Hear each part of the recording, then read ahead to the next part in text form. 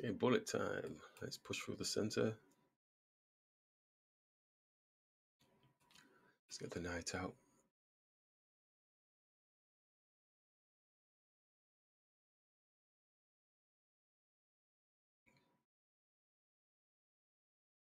Let's take.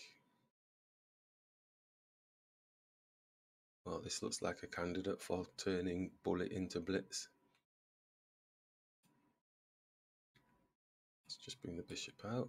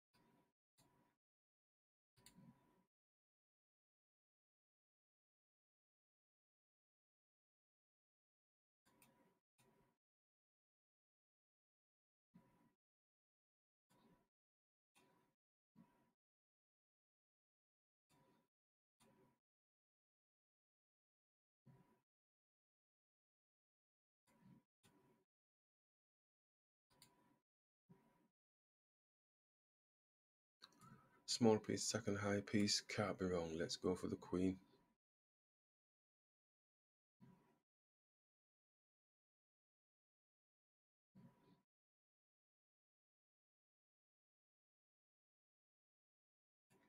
Let's take.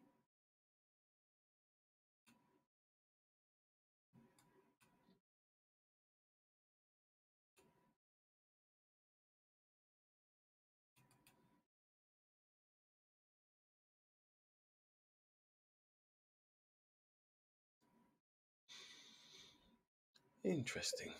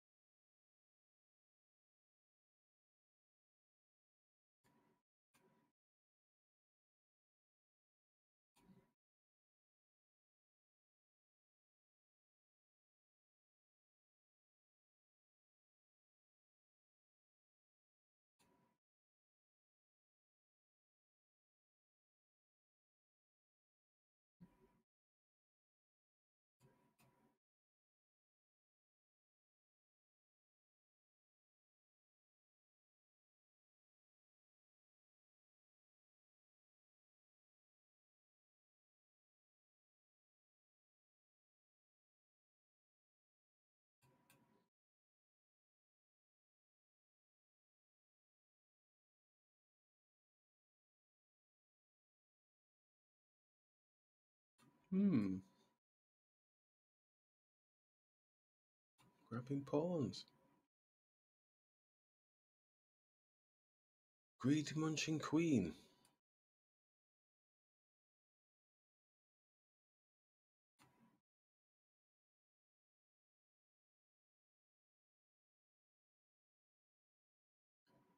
We've got a greedy muncher, people.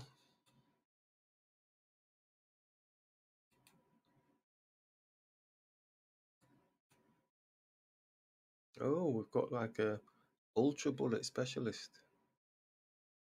This will be interesting.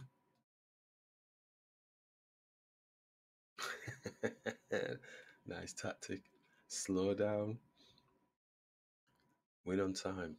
So, yep, good practice of the answer process again there. Um, it doesn't have to be anything grand, you know. We don't we, we go searching for these fantastical type brilliant chess games. The majority of my games are just normal everyday chess games, no, nothing grand about them. But that's the that's the whole thing about chess. You know, it's there to be played for the enjoyment and the activity is just the experience. If there's brilliances in there every now and then, then so be it. This is what keeps us enthralled within the chess world. Um, but it's a hobby. It's a it's a puzzle. It's a test of your mind. It's a mind challenge. You know, so it's a constant, ever growing thing all the time. It doesn't have to blow you out of the water with mad, magnificent fantastical thoughts and processes or physics of chemistry or whatever, anything else. Um, it's a game. It's a psychological game.